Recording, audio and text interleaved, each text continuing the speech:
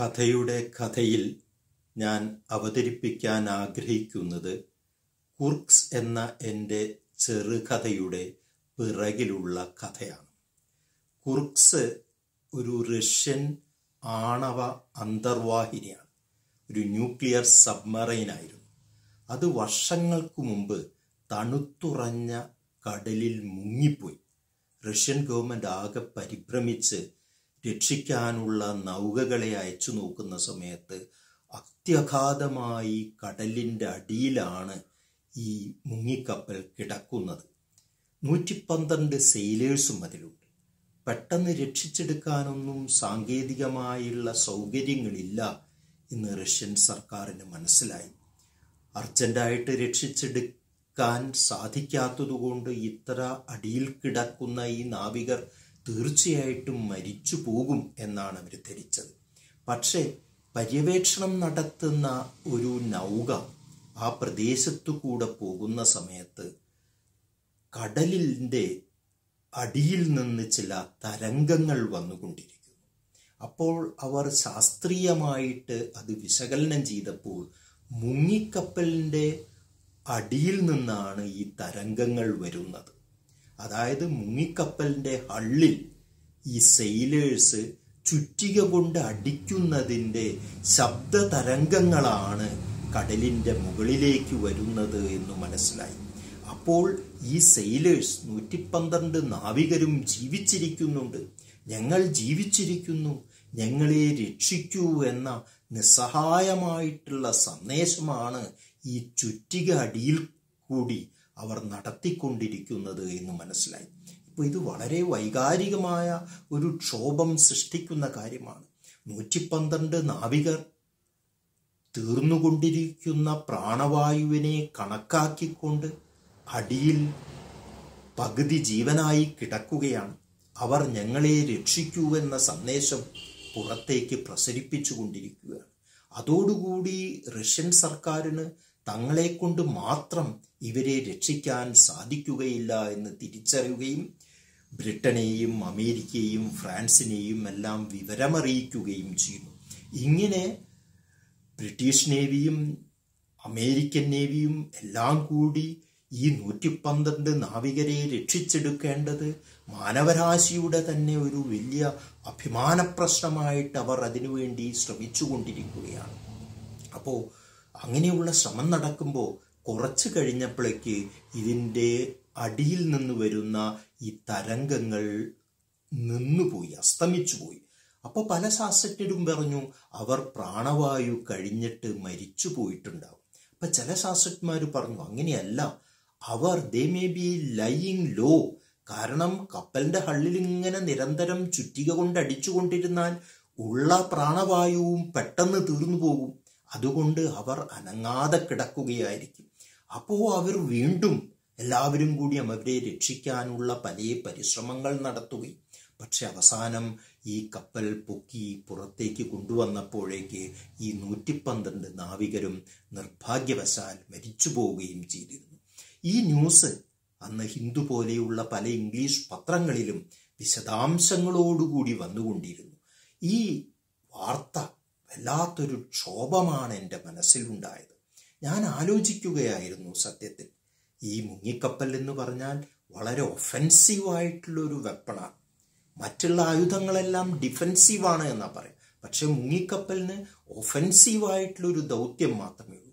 എന്തിനാണ് ഇങ്ങനെ ഹിംസാത്മകമായിട്ടുള്ള ഒരു വലിയ ആയുധം മുങ്ങിക്കപ്പൽ പോലെയുള്ള ഒരു ആയുധം മനുഷ്യൻ സൃഷ്ടിച്ചിട്ട് അവസാനം മനുഷ്യന്മാരെ തന്നെ ഈ കടലിൽ ഉപ്പിലിടുന്ന ഒരു അവസ്ഥയുണ്ടായില്ലേ എന്നൊരു ഫിലോസഫിക്കലായിട്ടുള്ള ഒരു ക്ഷോഭം എന്റെ മനസ്സിലുണ്ടാവുകയും അത് ഈ സംഭവത്തെ മുൻനിർത്തി ഒരു കഥ എഴുതണം എന്ന ചിന്ത എന്നിൽ വളർത്തുകയും ചെയ്തു. അങ്ങനെ ഞാൻ ഈ കഥ എഴുതുമ്പോൾ ഈ വെറും സംഭവം എഴുതി വെച്ചാൽ കഥയാവുകയില്ലോ അപ്പോൾ കുർക്സ് എന്ന മുങ്ങിക്കപ്പൽ മുങ്ങിയത് വെറുതെ ഒരു ആക്സിഡന്റ് പറ്റിയിട്ടല്ല. പിന്നെ അമേരിക്ക ടോർപ്പിഡോ വെച്ചുകൊണ്ടാണ് ഇങ്ങനെ ഇത് മുങ്ങിപ്പോയത് എന്നും എല്ലാം ഞാൻ ഒരു ഇതിവൃത്തം സങ്കല്പിച്ചുണ്ടാക്കി ഇതിലെ കാസ്പ്രോവ് എന്ന് പറയുന്ന നാവികൻ അന്ന് ആ സമയത്ത് സോവിയറ്റ് യൂണിയൻ തകർന്ന് പിന്നെ സോവിയറ്റ് യൂണിയനിലെ റഷ്യയിലെ ചെറുപ്പക്കാരെല്ലാം മുതലാളിത്ത രാജ്യങ്ങളിൽ വേശ്യാടനത്തിന് പോകുന്ന കാലമാണ്. പിന്നെ കോൾ ഗേൾസും കോൾ ബോയ്സുമായി പോകുന്ന കാലഘട്ടമാണ്. അപ്പോൾ ഇതിലെ കാസ്പ്രോവ് എന്ന് പറയുന്ന ചെറുപ്പക്കാരനായിട്ടുള്ള നാവികൻ പിന്നെ അവിടെ അമേരിക്കയിൽ ഇങ്ങനെ കോൾ ബോയ് ആയിട്ട് വിശാടനത്തിന് പോയി തിരിച്ചു വന്നിട്ടാണ് ഈ നാവികനായി ജോലി കിട്ടിയത് എന്നും ഉള്ളൊരു കഥയുണ്ടാക്കുകയും ഈ കാസ്പ്രോവിന്റെയും പെങ്ങളുടെയും അമേരിക്കയിലുള്ള ഈ കുത്തഴിഞ്ഞ ജീവിതത്തെയെല്ലാം ചേർത്ത് വെച്ചുകൊണ്ട് രതിയും കാമവും മൃത്യുവും എല്ലാം പ്രമേയമായിട്ടുള്ളൊരു കഥ ഞാൻ സങ്കല്പിച്ചുണ്ടാക്കി അപ്പോൾ ഇത് മുങ്ങിക്കപ്പലിന്റെ അകത്ത് മുങ്ങിക്കപ്പൽ മുങ്ങുന്ന സമയത്ത് നടക്കുന്ന സംഭവങ്ങളും അതിനോടനുബന്ധിച്ച ഈ കഥാപാത്രത്തിന്റെ ചിന്താധാരകളും ഉൾക്കൊള്ളുന്ന ഒരു കഥയാണ്.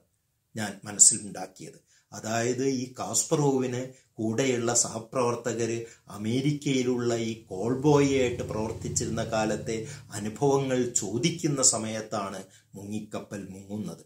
ഇങ്ങനെയുള്ളൊരു നാടകീയമായിട്ടുള്ള ഇതിവൃത്തം ഞാൻ ഉണ്ടാക്കിയെടുത്തെങ്കിലും കഥ എഴുതാൻ പുറപ്പെടുന്ന സമയത്ത് ഒന്നും ശരിയാകുന്നില്ല. എന്തിനു പറയണം? മുങ്ങിക്കപ്പലിന്റെ ഒരു വിദഗ്ധനായിട്ടുള്ള ഒരാളെ ഞാൻ നേരിട്ട് പോയി കണ്ടു. റിട്ടയർഡ് ആയിട്ടുള്ള ഒരു ഓഫീസറെ പോയി കണ്ട് മുങ്ങിക്കപ്പലിന്റെ പ്രവർത്തന രീതികളെല്ലാം കൃത്യമായി ചോദിച്ചു മനസ്സിലാക്കുകയും ചെയ്തു. എല്ലാ സാങ്കേതികമായിട്ടുള്ള കാര്യങ്ങളും മനസ്സിലാക്കി ഇത് കഥയും ഇതിവൃത്തവും തയ്യാറാക്കി എന്നിട്ടും കഥ എഴുതാൻ എനിക്ക് പറ്റുന്നില്ല. അപ്പോൾ ആലോചിച്ചു നോക്കുമ്പോൾ ഈ റഷ്യക്കാരായിട്ടുള്ള ആങ്ങളെയും പെങ്ങളുമാണല്ലോ ഇതിലെ പ്രധാന കഥാപാത്രങ്ങൾ. അവരുടെ മാനസിക ലോകത്തിലേക്ക് എനിക്ക് പ്രവേശിക്കാൻ സാധിക്കുന്നില്ല. കാരണം അവരുടെ വൈകാരികമായ ലോകം എങ്ങനെയായിരിക്കും? അവർ സ്വന്തം ശരീരവിൽപ്പനയ്ക്ക് വേണ്ടി അമേരിക്കയ്ക്ക് പോകുന്ന സമയത്ത് അവരുടെ മനസ്സെങ്ങനെയായിരിക്കും പ്രവർത്തിച്ചിട്ടുണ്ടാവുക? ഇതെല്ലാം അറിയണമെങ്കിൽ റഷ്യയിലെ ഈ ചെറുപ്പക്കാരുടെ സാംസ്കാരികമായിട്ടുള്ള മാനസിക പരിതോവസ്ഥകൾ എനിക്ക് അറിയണം അതറിയാത്തത് കൊണ്ടാണ് എനിക്ക് ജീവനുള്ള കഥാപാത്രങ്ങളെ സൃഷ്ടിക്കാൻ പറ്റാതെ കഥ പകുതി വഴിക്കിൽ നിന്നുപോയത് അങ്ങനെ ഞാൻ ഈ കഥ തന്നെ ഉപേക്ഷിക്കണം എന്ന് വിചാരിച്ച് പകുതി എഴുതിയ കഥ അങ്ങനെ പിന്നെ ഡ്രോയറിൽ മേശയുടെ വലിപ്പിൽ ഇടുകയാണ് ഞാൻ ചെയ്തത്. അതിലിടയ്ക്കാണ് എനിക്ക് ബഹറിൻ കേരളീയ സമാജത്തിന്റെ ഒരു കഥാപുരസ്കാരം ലഭിച്ച് അത് വാങ്ങാൻ വേണ്ടി ഞാൻ ബഹ്റിനിൽ പോകുന്നു. ബഹ്റിനിൽ പോയപ്പോൾ എന്നെ അവർ അവിടെ ഒരു മലയാളിയുടെ വലിയൊരു സ്റ്റാർ ഹോട്ടലിലാണ് താമസിപ്പിച്ചത്. അപ്പം ആ സമയത്ത് റഷ്യയിൽ നിന്നുള്ള കുറേ പെൺകുട്ടികൾ അവിടെ പിന്നെ കോൾ ഗേൾസ് ആയിട്ട് വന്നുകൊണ്ടിരിക്കുന്നുണ്ട്. അപ്പോൾ അവർ അപ്പം അവരെ കണ്ടപ്പോൾ എനിക്ക് പെട്ടെന്ന് തോന്നി ഇവരെയായിട്ടൊന്ന് സംവദിച്ചു കഴിഞ്ഞാൽ എനിക്ക് ഈ അവരുടെ മാനസിക ഘടന മനസ്സിലാക്കിക്കൊണ്ട് ഈ കഥ പൂർത്തീകരിക്കാൻ സാധിക്കുമല്ലോ എന്ന ഒരു വ്യാമോഹം എനിക്ക് തോന്നി. പക്ഷേ അവർ മറ്റൊരു മുറികളിലെല്ലാം പോകുന്നുണ്ട്. കസ്റ്റമേഴ്സിനെ പിടിക്കാൻ വേണ്ടി പോവുകയാണ് എന്റെ മുറിയിൽ മാത്രം അവർ വരുന്നില്ല. അപ്പൊ ഞാൻ വിചാരിച്ചു ഞാനൊരു ഏഷ്യക്കാരനാവുകൊണ്ട് കരിമ്പനാവുകൊണ്ടായിരിക്കും എന്റെ മുറിയിൽ വരാത്തത്. പക്ഷെ കാര്യം എന്താന്ന് പറഞ്ഞാൽ ഈ ഹോട്ടൽ മുതലാളി മലയാളി ആയതുകൊണ്ട് ഞാൻ താമസിക്കുന്ന മുറിയിലേക്ക് വരണ്ട എന്ന് പറഞ്ഞ് അവരെ ചട്ടം കിട്ടിയിരിക്കുക. കാരണം ഞാനൊരു വേണ്ടാത്ത പണിക്ക് പോകണ്ട എന്ന് വിചാരിച്ചിട്ടായിരിക്കും. അപ്പൊ ഇത് മനസ്സിലാക്കിയ സമയത്ത് ഞാൻ എന്റെ സുഹൃത്തിനോട് പറഞ്ഞു എനിക്ക് അവരുടെ കൂടെ ഉള്ള പിന്നെ ശയനത്തിന് വേണ്ടിയിട്ടല്ല ഇങ്ങനെ ഒരു കാര്യത്തിന് വേണ്ടി അവരെ ഇട്ടിക്ക് കുറച്ച് സംവദിക്കാനുള്ള ഒരു അവസരം ഉണ്ടാക്കണം എന്ന് പറഞ്ഞു.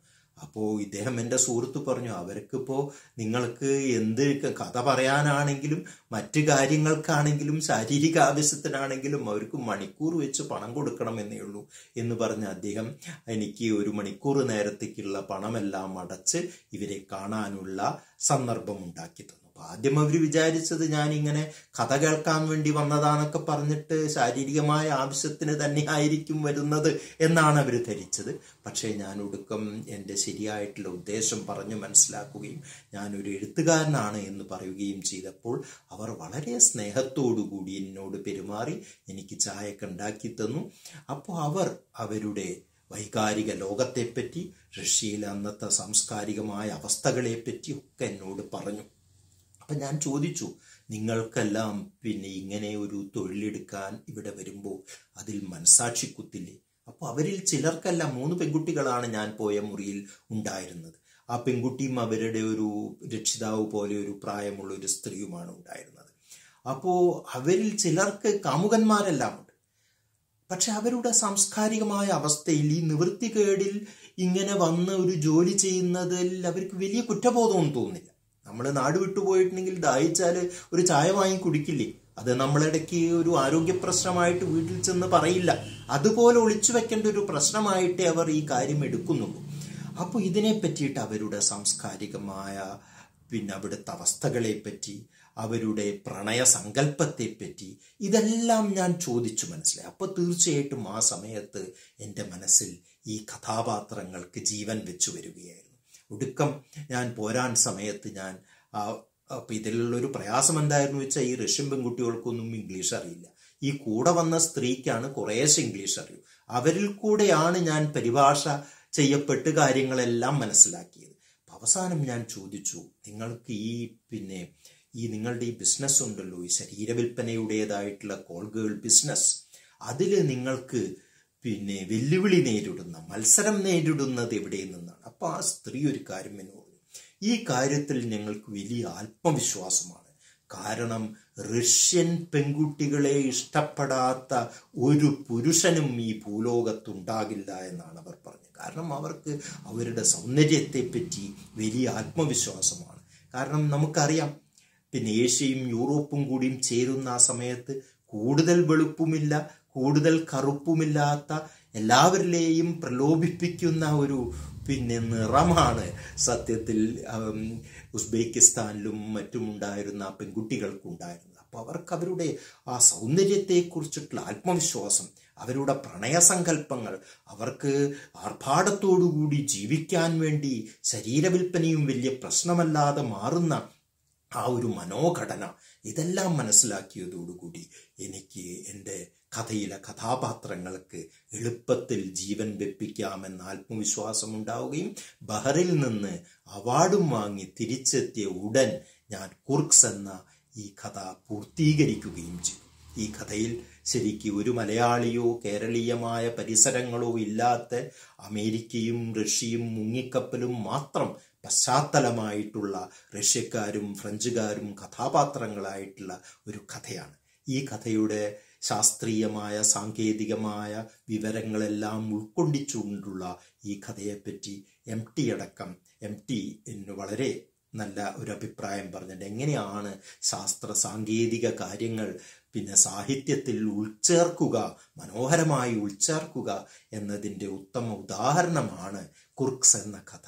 എന്ന് എം ടിയിൽ നിന്ന് എനിക്ക് കേൾക്കാനുള്ള സൗഭാഗ്യവും ഉണ്ടായിട്ടുണ്ട് അപ്പം ഈ കുർക്സിന്റെ പിറകിൽ ഇങ്ങനെ ഒരു കഥയുണ്ട്. ഈ മുങ്ങിക്കപ്പലിന്റെ തകർച്ച എന്ന ഒരു ചരിത്രത്തിൽ നടന്ന സംഭവത്തോടൊപ്പം തന്നെ അതിൽ ഞാൻ മെനഞ്ഞുണ്ടാക്കിയ ഒരു ഇതിവൃത്തം അത് സാക്ഷാത്കരിക്കാനുണ്ടായ പ്രയാസം അത് സാക്ഷാത്കരിക്കാൻ എന്നെ സഹായിച്ച എന്റെ ബഹറിൻ യാത്ര ആ റഷ്യൻ പെൺകുട്ടികളോട് സംവദിച്ച സമയത്ത് അവരുടെ മാനസികാവസ്ഥയിലേക്ക് എനിക്ക് പര പരകായപ്രവേശം അവരിലേക്ക് നടത്താൻ എനിക്ക് കഴിഞ്ഞത് ഇതെല്ലാമാണ് ആ കുർക്സ് എന്ന കഥയെ വിജയപ്രദമാക്കാൻ എന്നെ സഹായിച്ചിട്ടുള്ളത്.